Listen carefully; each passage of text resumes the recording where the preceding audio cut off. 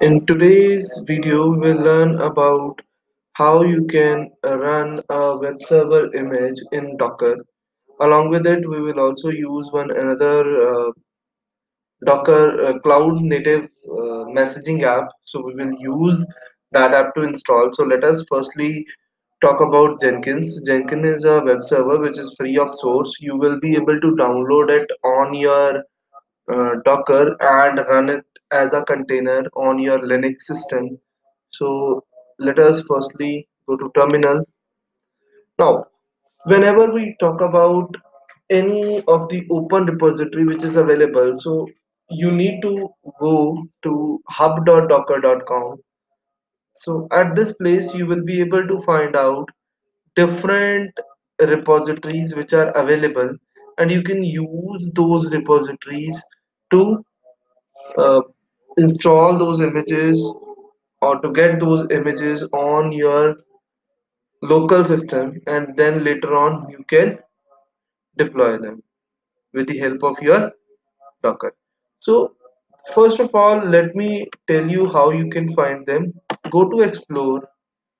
So you will be able to see there are number of such available uh, images which you can use so first of all we are having oracle we are having java images. So you can deploy whichever image you want. So we have ibm db2 okay? We have mongodb N, nginx node. Then we also have apache server alpine busybox mysql docker memcache. So there are number of such images which are available. So we also have filters on the left hand side from where you can sort out your image type.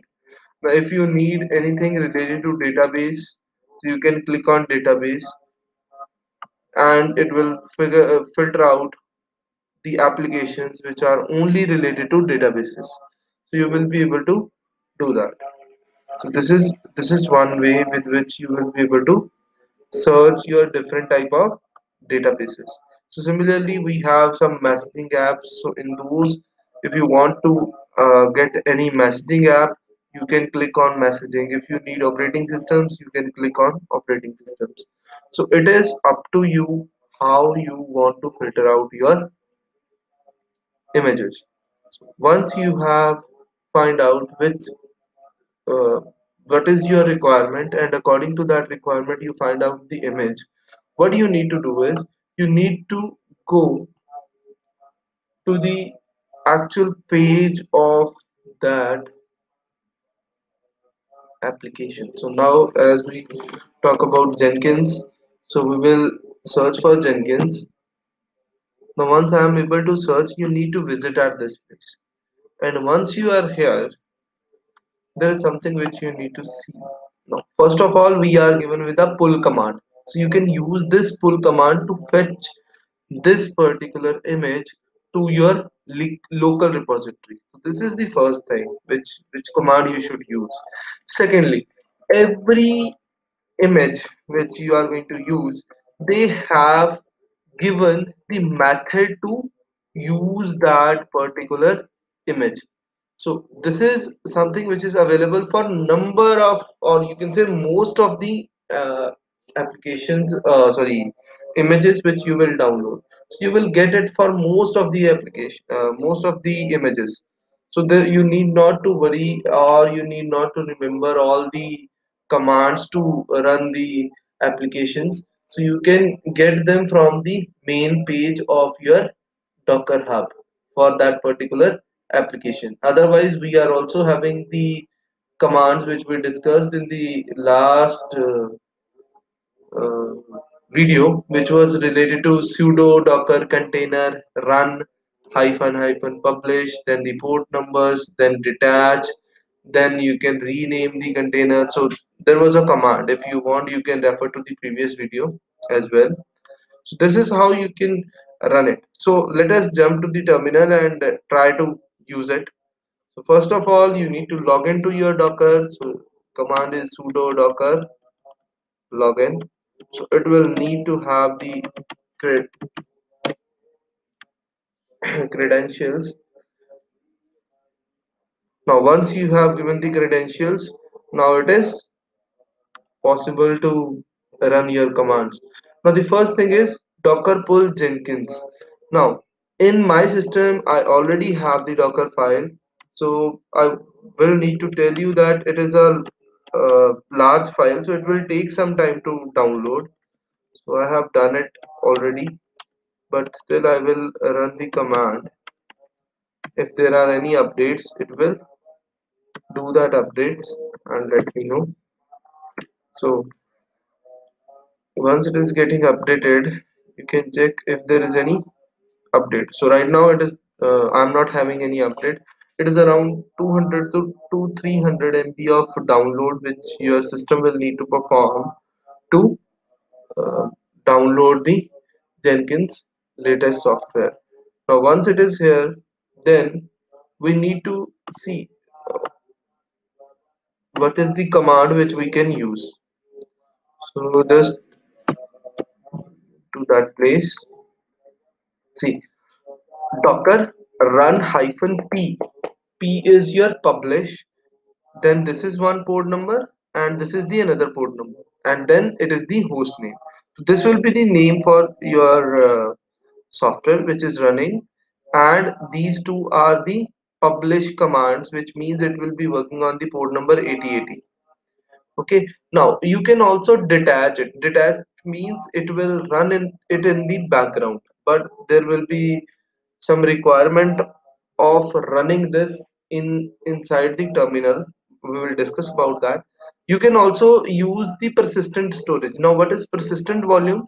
It will store all the data which you uh, which you will be working with. So every data whichever you changes you do everything will be stored at some place. So for that you can use this particular command that is hyphen v for creating a persistent volume. And this volume will be created at this place. This is the link. Uh, sorry this is the path for your storage. So we are not going to create a storage right now. So we will simply use the first command. So that is docker run hyphen p. And if you remember to get the administrative privileges we need to use sudo. Let us run it you will be able to see it is going to start and why it is being uh, not detached from the uh, terminal. The reason is it will show you a administrative password which you will need to use to configure this particular uh, web server. So just let it get started. Once it gets started I will just show you the process a little bit. Now this is the administrative password which we might need when we are going to configure it. So we'll see into it. Just let it start. It will be setting up the port. Once the ports are set up we will be going to browser and searching for the local host. Local host then it's it will be 80,000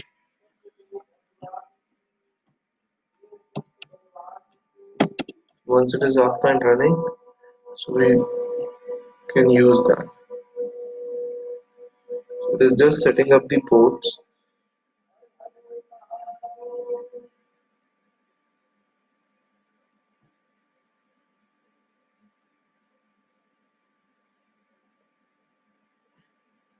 So it might take some time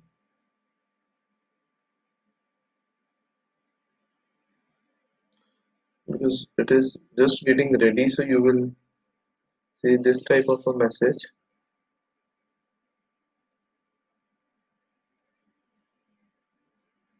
It is not properly deployed till now so it might take some time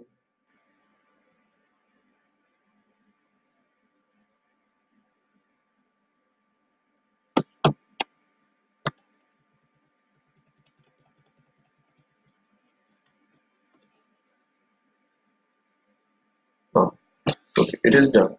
So once you see at this place it is showing that it is running properly. So you need to copy this password from this place. And you might need to give it at this place. Once you have typed in the password you will be able to log in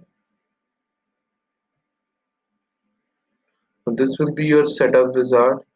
By moving to this setup wizard you will be able to configure your web server. But all the information which you transfer or which you process by using this web server will not be permanently stored because we haven't used the persistent volume. So if you use the persistent volume it will store the whole information whichsoever you will go through or whichever you will process will store that way so this was the example for using jenkins. So now I have one another application which is NATS that is NATS so it is your cloud native messaging system. So you can also set up it as per your needs. So the same process will be here as well. So now if you don't want to use it you can simply close the terminal once you have closed the terminal and you want to run it on the same port so what you need to see is whether we have any other container running or not. The command is sudo docker container ls. Just run that command. You will be able to see that we are having one another container which is running and it is running on the same port. So if you use the same command it will be having a clash with the port number.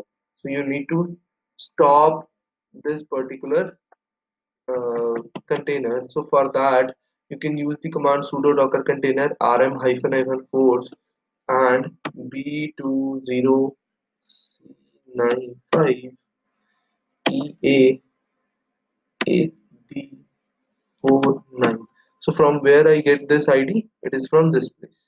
You can get your container ID from this place once you have that container ID just click next it is done. Now if you list the running containers you will be able to see that there is no container. Now you can run the next image. So now for this what what is the first task? We can use the command docker pull nats so we go to this place and we paste it. Same we need to have sudo in front so it will be fetching the latest image from this place if there is any latest image.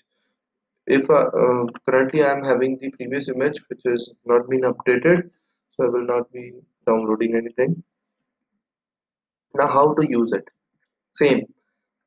The commands are given so you can use those commands directly.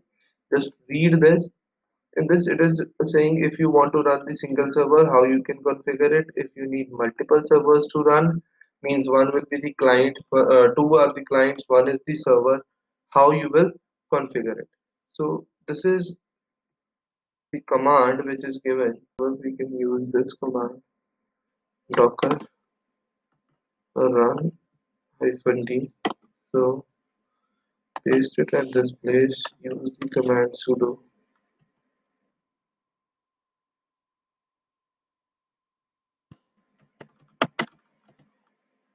now it is running.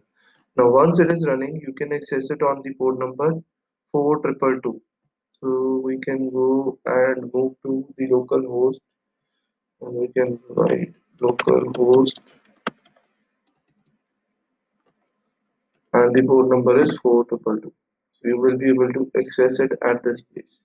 So it is saying this port number is active then if you want to use the second if you want to run the second uh, server you can use the same command but with the changed port numbers.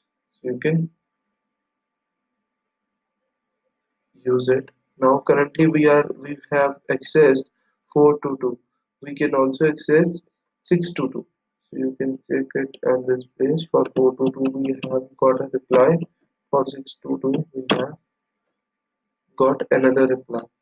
Then for 822 we will get the actual NATS server. So where you will be able to um, put up the gateways all the files so you can access that server from 822 so those two were the hosts. This one is the server. You can check it in the documentation how they are defining it. So see this is for client 422 this is for routing and 822 is for HTTP management port of information reporting. So with single command you are able to run all the three different uh, port numbers and you are able to access it. Now if you want to run multiple number of servers then you can use the second command which is at this place. If you want to verify the routes you can run the third command. So all the commands are given in your docker hub. So you can simply read out those commands from this place and run them directly. No need to remember all the commands. So you can simply see it at this place because each and every application which we are having is having different set of commands to run. So that's all. And one more thing uh, if you want to see where your files are getting stored so this is the path.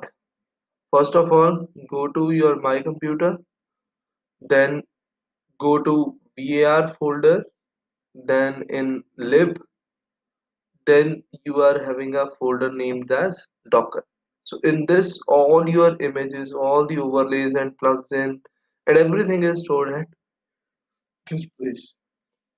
If you want to get the access you will need to use the command chmod hyphen 777 and put the name of this directory so that you will get the permission. Okay? Thank you so much for completing the